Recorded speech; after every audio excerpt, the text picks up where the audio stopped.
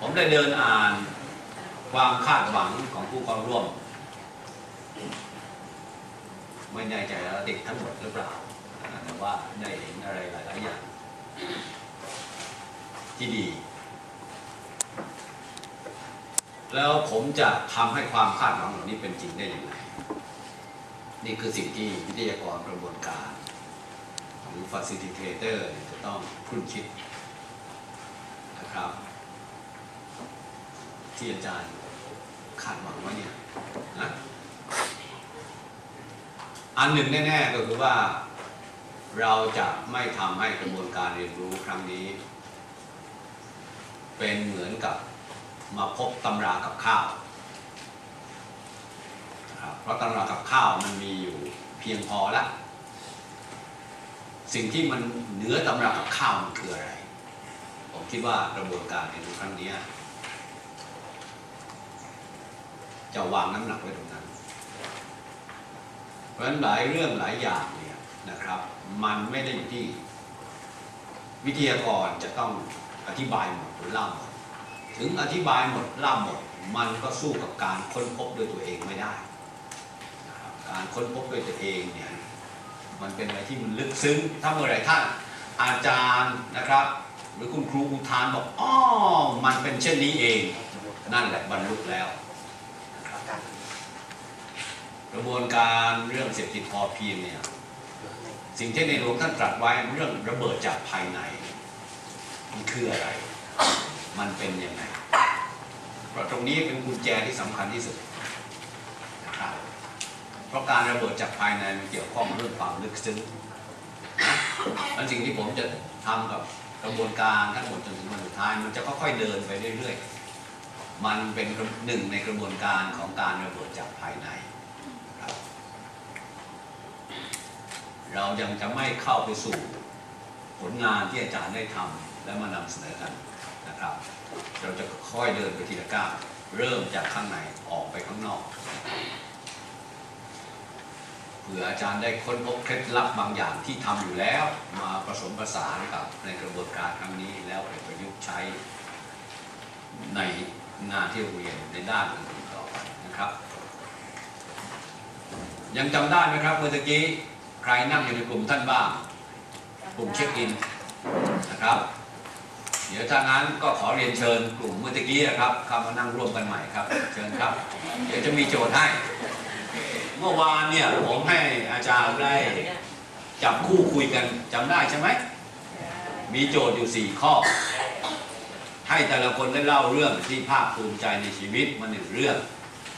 นะได้ทำอะไร นะไอ้เรื่องที่ภูมิใจเนี่ยมันมายังไงไปยังไงมีเหตุปัจจัยอะไร แล้วมองย้อนกลับไปในเหตุการณ์วันนั้นได้ให้บทเรียนอะไรกับท่านบ้าง และความภาคภูมิใจที่ท่านได้ทำเนี่ยมันได้สร้างคุณค่า หรือค่านิยมหรือมาตรฐานอะไรในตัวท่านขึ้นมาบ้างหรือเปล่า ที่ได้เป็นหลักการในการพัฒนาในการดำเนินชีวิตของท่านจำได้ใช่ไหมยังจำได้ปะ ที่เล่าสู่กันฟังเมื่อวานจำเรื่องเองตัวเองบอกเพื่อนได้ใช่ไหมทั้งสี่ข้อนะครับนี่ผมอยากให้อาจารย์เอาทั้งเอาเรื่องที่เล่าสี่ข้อเมื่อวานเนี่ยนะครับมาหาแก่น แก่นของการเล่า ก็คือความภาคภูมิใจที่ได้ทำเนี่ยแล้วได้สร้างมาตรฐานหรือหลักการในชีวิต หลักการในการพัฒนาชีวิตของอาจารย์นะครับ เป็นการเอาเรื่องเมื่อวานเนี่ยมาทบทวนค้นหาสาระสำคัญ บวกกับเรื่องที่ท่านได้พูดเรื่องกิโลไปเมื่อเช้า เออสิ่งที่กิโลทำกับความภาคภูมิใจของอาจารย์ที่ได้ทำมาในชีวิตและยึดมาเป็นหลักการ มันมีอะไรใกล้เคียง มันมีอะไรที่เปรียบเทียบให้เห็นกันได้บ้างนะ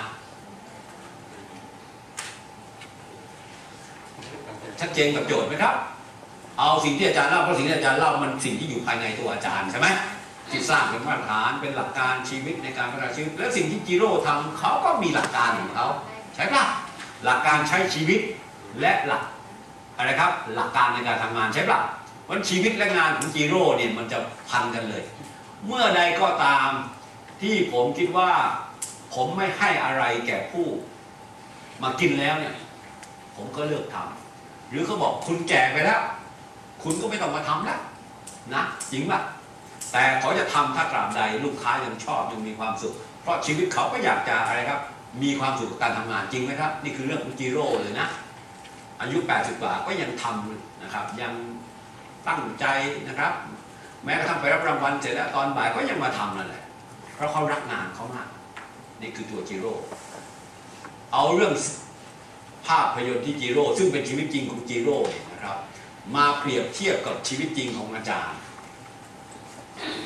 เอออาจารย์ค้นพบอะไรที่น่าสนใจบ้างเมื่อเปรียบเทียบกันอะลองนั่งใช้เวลานั่งครุ่นคิดทบทวนดูสิสิ่งดีๆ ในตัวของเราบางทีเราก็ลืมลืมมองไป ลืมค้นพบไป แต่เมื่อมาการเกิดการเปรียบเทียบ มันพบอะไรที่น่าสนใจนะครับ ที่เป็นหลักเกณฑ์ ในการทำงานของท่านบ้างใช้เวลาสัก